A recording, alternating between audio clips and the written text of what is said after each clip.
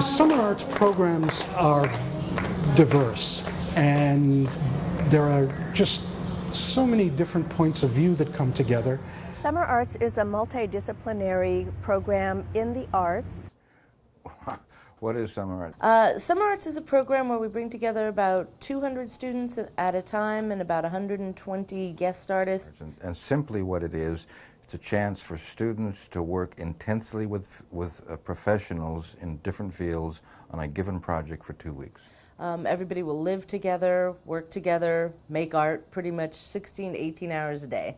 Um, as far as we know, it's the only one like it in the world because it involves all the different aspects of the arts painting and drawing. Theater, dance, music, creative writing, film and video. We have animation.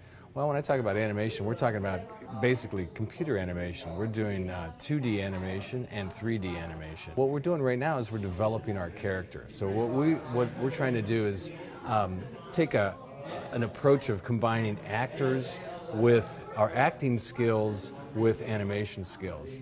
As animators, they're the actors but they're just drawing the actor's action. They're not doing it in person.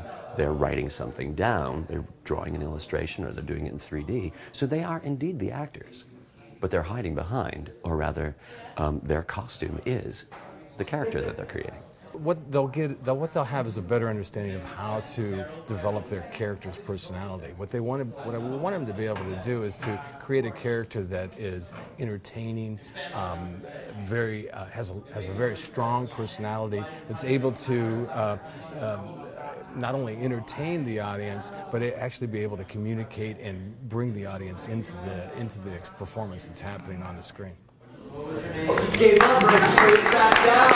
gave up right he sat down. It was like, It's, it's inevitable that you, that you have a somewhat limited view of the arts because you specialize in one.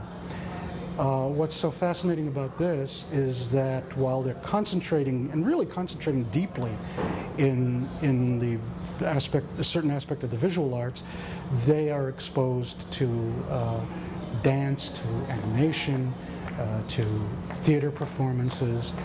Um, and, and the university here functions as this as the centralized location where all of these things can interact and learn from each other.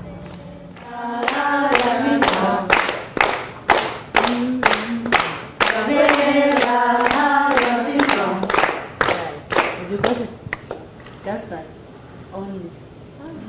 All right? Mm -hmm.